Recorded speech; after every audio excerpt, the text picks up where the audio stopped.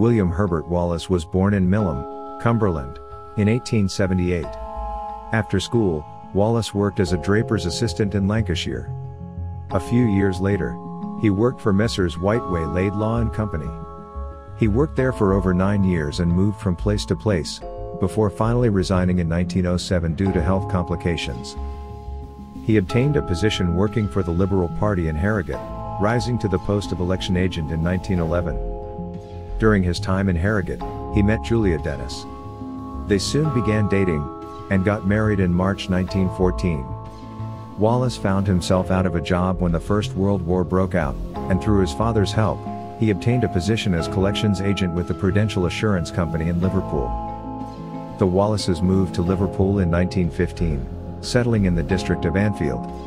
During the 1920s, Wallace supplemented his comfortable but mundane existence as collections agent by lecturing part-time in chemistry at Liverpool Technical College.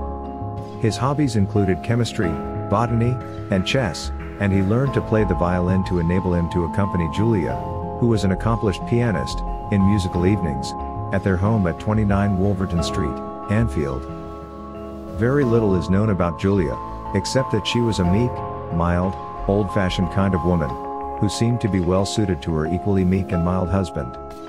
From all appearances, their marriage was stable and happy, they never had public scenes, and the walls of the houses on Wolverton Street were thin. And, contrary to the rumors that ran rampant through Liverpool during and after the murder trial, no other man or woman was ever found. The story began on January 19, 1931. It was a Monday night, the regular meeting night for the Liverpool Chess Club. At 7.20 p.m., shortly before Wallace arrived at the club, the club captain took a telephone call from a man identifying himself as R.M. Qualtrough, asking for Wallace to call at his house at 25 Menlove Gardens East the following night at 7.30 p.m., concerning an endowment policy for his daughter.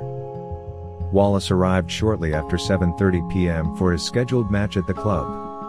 After being given the message, he commented that he knew no one named Qualtrough, and had never heard of Menlove Gardens East. Nor had anyone else at the club, although everyone agreed it was most likely off Menlove Avenue somewhere. Wallace was convinced he could find it. On January 20th, Wallace got home from work around 6 p.m. Sometime between 6.30 and 6.45 p.m., the milk boy stopped by and collected his money from Julia. This was the last time someone other than William had seen Julia alive. Wallace advised Julia not to allow anyone in their home while he was away, then set off on his journey. He traveled by tramcar and arrived at Menlove Avenue, just after 7 p.m. After searching relentlessly for Menlove Gardens East, inquiring at local newspapers, and even asking a police officer, William realized that it did not exist, there was a Menlove Gardens north, south, and west, but no east. Wallace realized that someone had pulled a prank on him, sending him off on a wild goose chase. He gave up after 45 minutes and went home. Wallace arrived at his home around 8.45 p.m., and ran into his neighbors, the Johnstons, who later stated that Wallace had claimed he couldn't enter his home from the front or the back. Wallace apparently asked them if they had heard anything unusual that night, to which they responded no. They also stated that immediately after this, Wallace tried opening the back door, which opened on the first try. As they waited outside, Wallace entered the house and a few moments later, Wallace hurried outside, and said that his wife had been killed. To the Johnstons' horror, Julia Wallace was laid out in front of the gas fire in the front room, violently battered to death. Blood splatter splashed across the walls. Back in the kitchen, Wallace noticed the locked cupboard where he kept his insurance collection money had been wrenched open, and the four pounds inside had been stolen. If it was a robbery that turned to murder, the house was not ransacked, as would be expected, and nothing else had been taken, including the money from Julia's handbag, which rested on the kitchen table. At this point John Johnston took charge, ordering his wife and Wallace to stay in the house and touch nothing while he fetched the police and a doctor, the latter, Clearly a futile gesture considering the grisly state of Julia's body in the room next door. The Merseyside police soon arrived at the scene, but their handling of the investigation left much to be desired, as a major strike in 1919 had left the force seriously weakened, and with a significant number of staff dismissed, those left behind were charged with filling roles they weren't properly qualified for. A journalist from the Liverpool Daily Post was called out to act as the police photographer.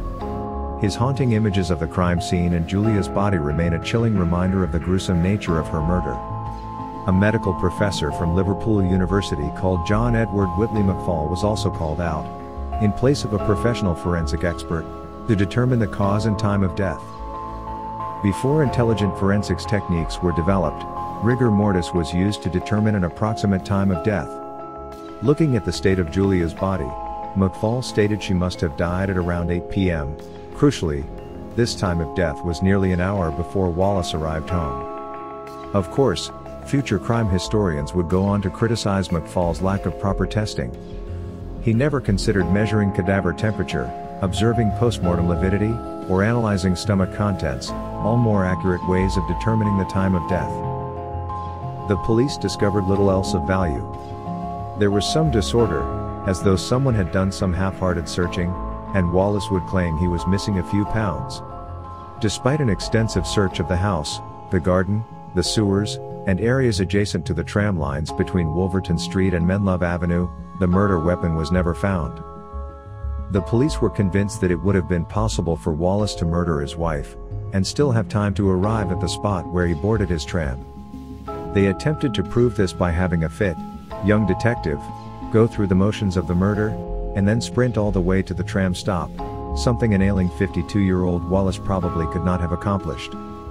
The original assessment of the time of death, around 8 p.m., was also later changed to just after 6.30 p.m., although there was no additional evidence on which to base the earlier timing. The police also hypothesized that Wallace could have used the Macintosh, or a raincoat, which was found to have been lying under Julia's corpse, to shield himself from all the blood spatter while committing the crime. Examination of the bath and drains revealed that they had not been recently used, and there was no trace of blood there either, apart from a single tiny clot in the toilet pan, the origin of which could not be established. Whoever Qualtrough was, and whatever the purpose of the call, it had succeeded in providing Wallace with an almost cast-iron alibi. The problem was, it didn't look like anyone else could have committed the crime either. No weapon, no suspects, no witnesses and the body found in a locked house. Whoever had killed Julia, appeared to have pulled off the perfect crime. William voluntarily complied with the law and made two statements. He was questioned, then released. But when two weeks passed without any clues, save for the cryptic chess club phone message, police arrested William, and charged him with his wife's murder. They had rounded up enough circumstantial evidence to justify the charge, including proof, that the mysterious phone call had been placed from a telephone box, just 400 yards from the Wallace residence. Despite his persistent claims of innocence, the murder charge stuck, and Williams stood trial at Liverpool Assizes. Most of the trial leaned in favor of Williams' acquittal, including testimony from a milk delivery boy who claimed to have met with Julia just minutes before her murder. But, after an hour's deliberation, William was found guilty and sentenced to death. In an unprecedented twist, the conviction was overturned by the Court of Criminal Appeal. The court found that the evidence was unsatisfactory, and William was once again free. In the wake of the trial and the surrounding scandal, William struggled to find normalcy. He received threats and hate mail on a regular basis. And, though he was still employed by the Prudential Assurance Company, many of his customers abandoned him. The press, of course, had a lot of attention-grabbing headlines for the case. Wallace was painted as an occultist, a philanderer, and most of all, an intellectual, chess-playing mastermind, the chess player they couldn't checkmate, as one newspaper put it. Straight from the pages of fiction, Wallace had impeccably plotted a fiendish murder, that both outwitted the police, and generations of armchair detectives. But if Wallace really was a criminal genius, he did not have long to savor his victory. Unable to bear the ordeal of his wife's death, and the subsequent marring of his name by the media and public, Wallace moved into a quiet bungalow in the Wirral. Suffering a recurrence of his old kidney troubles, he fell ill in December of 1932. In February of 1933, two years after his wife's brutal murder, Wallace died from uremia and pyelonephritis, in Clatterbridge Hospital at age 54. If the mild-mannered insurance salesman had any dark secrets, he had taken them to his grave. Since Wallace's death, the case has become one of the most debated in criminal history.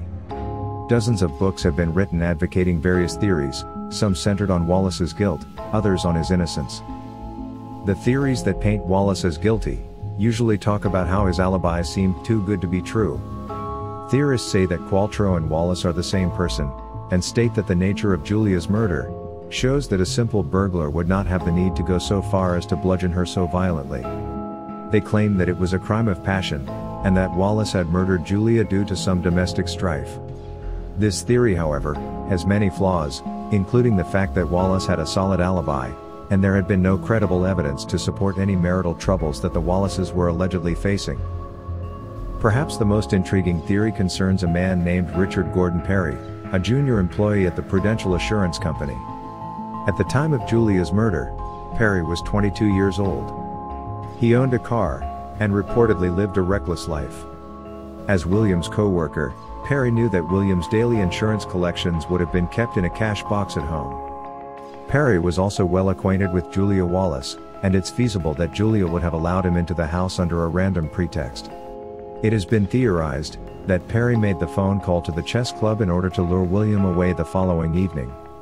Once William was out of sight, Perry called on Julia Wallace, gained entry to the house, murdered her, and stole the collection money. In 1980, a news editor named Roger Wilkes revisited the crime for a radio show. His investigation led him back to Richard Gordon Perry, whom he learned had actually been questioned by police, but was released after presenting a convincing alibi. But Wilkes also discovered evidence that Perry had visited a local garage to wash his car with a high-powered hose, and that a garage attendant noticed one of Perry's blood-soaked gloves. By the time Wilkes had pieced together his case closer, it was too late. Richard Gordon Perry had died a few months prior, on April 14, 1980. The murder of Julia Wallace remains stubbornly unsolved to this day. If you have any information regarding the case, or would like to share your opinions, let us know in the comments below. Thank you for watching and we hope you found our video interesting. Like, comment and subscribe for more fascinating unsolved mysteries.